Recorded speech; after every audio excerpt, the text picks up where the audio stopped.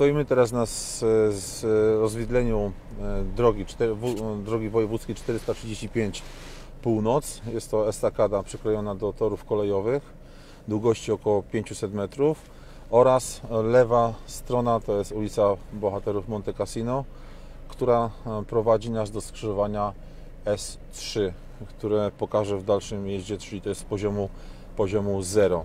Teraz wyruszamy na poziom plus 1, takie ułatwienie i tędy będzie ruch prowadzony kierunek e, wschód, zachód. Wyjeżdżamy do góry, może prawym pasem będzie łatwiej.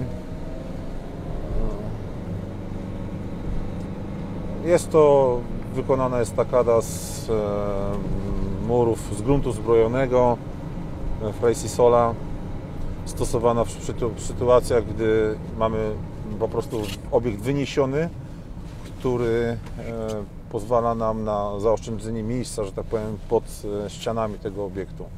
Czyli jest to taka stroma e, składanka z takich puzli, można by powiedzieć, zbrojonymi pasami, które są pod nawierzchnią drogową. Jesteśmy teraz na poziomie najwyższym plus 1. E, Przejeżdżaliśmy przez obiekt e, W2, który był w ciągu ulicy skrzyżowania S2 nad obiektem W2. Zjeżdżamy teraz estakadą w dół. Po lewej stronie widać już ulicę Batalionów Chłopskich przy ekranach akustycznych oraz nitka e, e, poziomu 0, więc jesteśmy teraz na odcinku nawierzchni cichej BBTM, która które jej, że tak powiem, e, ułożenie powoduje zmniejszenie hałasu. Redukcję hałasu.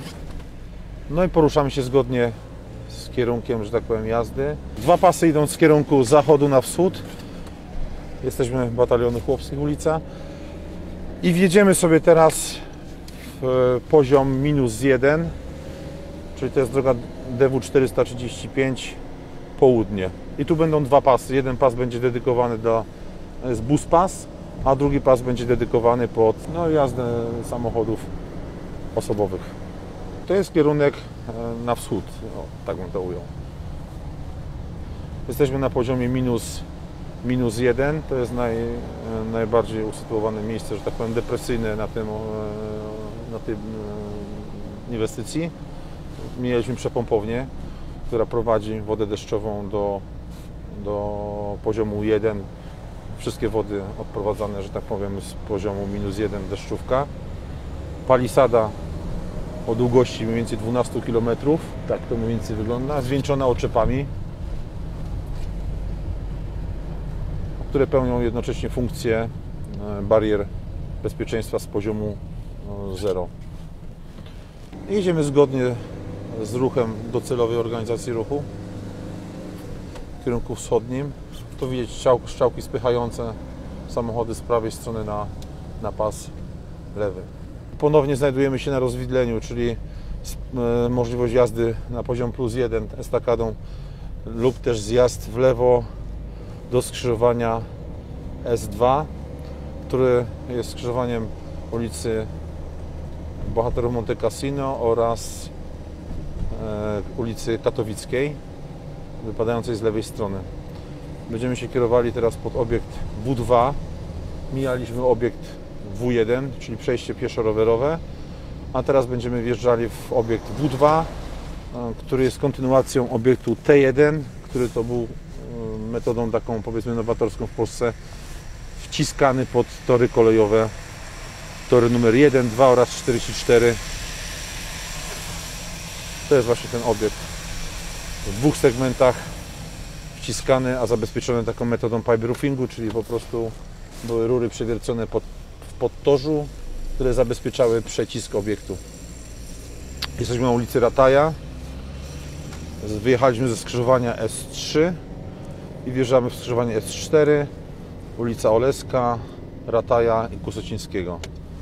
Skręcamy w lewo. Jesteśmy teraz na ulicy Oleskiej. Możemy jechać albo prawoskręt, albo na, na wprost do Solarisa, do centrum, albo też możemy pojechać w lewo w ulicę Katowicką.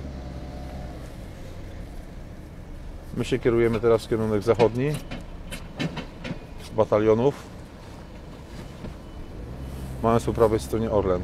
To jest, to jest takie rondo, to są skrzy, to skrzywanie, które teraz mijaliśmy. To jest takie jedno duże rondo stanowiące taki zespół skrzywań S1, S2, S3, S4.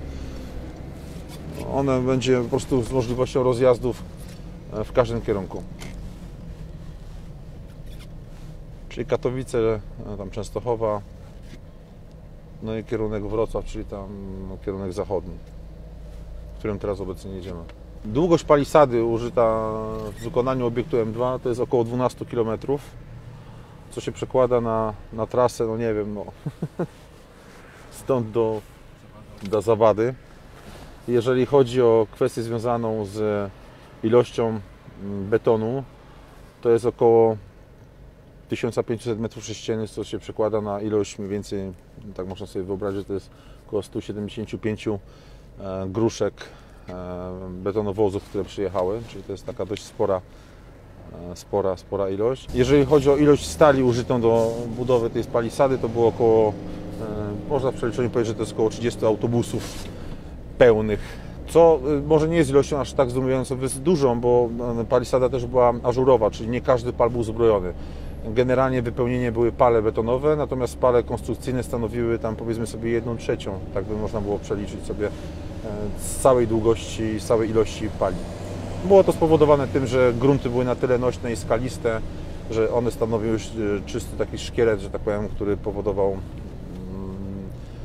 mm, niepotrzebę używania aż e, zbrojenia każdego pala. Pa- Pal zbrojony przenosił obciążenie z, z pozostałej ilości trzech pali ob- sąsiadujących. Mijamy teraz skrzyżowanie Oleska batalionów i poruszamy się w kierunku ulicy Katowickiej. To jest skrzyżowanie S1, jedziemy w kierunku S2. Po prawej stronie widzimy węzeł przesiadkowy, który jest skomunikowany z, e, z e, dworcem kolejowym. Tutaj będą podróżni przyjeżdżać i mieli możliwość przejścia na, na pociąg albo przyjazdu pociągiem i e, komunikacją, że tak powiem, miejską podróżować. Po lewej stronie widać obiekt właśnie W2, estakadę 435 DW, północ. Wjeżdżamy teraz w ulicę Katowicką.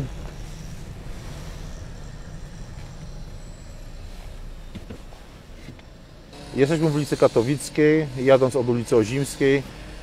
Teraz możliwość e, wyjazdu, jadąc ulicą Katowicką się zwiększyła, gdyż możemy jechać ulicą Katowicką w kierunek Częstochowa, kierunek Wrocław i Kluczbork. Czyli przejeżdżamy teraz skrzyżowanie na wprost. Mamy możliwość jazdy, tak jak jest znakowanie, w kierunku Kluczborka. Centrum. Ważne było to, że należy przejechać obiekt M2 i mieć go po lewej stronie, kierując się na zachód, czyli na Wrocław. E, Znajdujemy się pod obiektem W2, T1.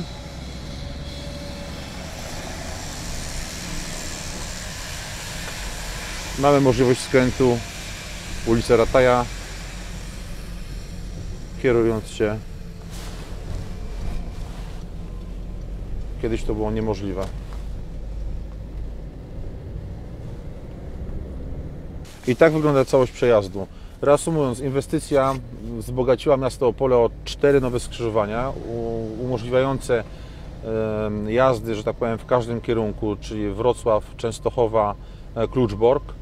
E, Jest to skomunikowane jednym wielkim takim rondem, e, czyli cztery skrzyżowania wchodzą w układ drogowy jednego ronda z poziomu 0, jak i również poziom minus 1 i poziom plus 1.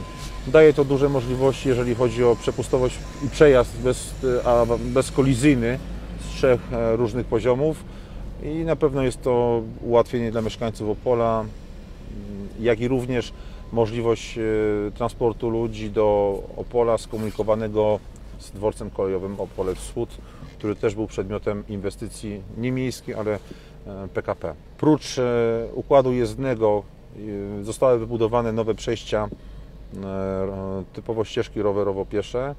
E, To jest obiekt W1 oraz obiekt W6, jak i różne róż- no, nowe ścieżki e, rowerowe, które umożliwiają e, przejazd e, praktycznie no, e, wschód-zachód, północ-południe, czego wcześniej nie było w poprzednim układzie pieszojezdnym.